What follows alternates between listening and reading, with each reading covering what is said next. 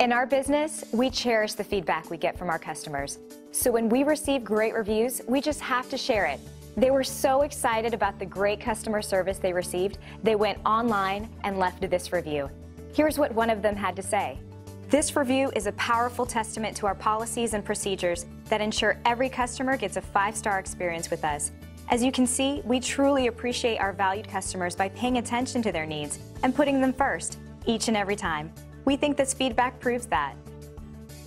So if you're looking for a company that has the best customer service backed by years of extensive knowledge and experience, then we are the right fit for you.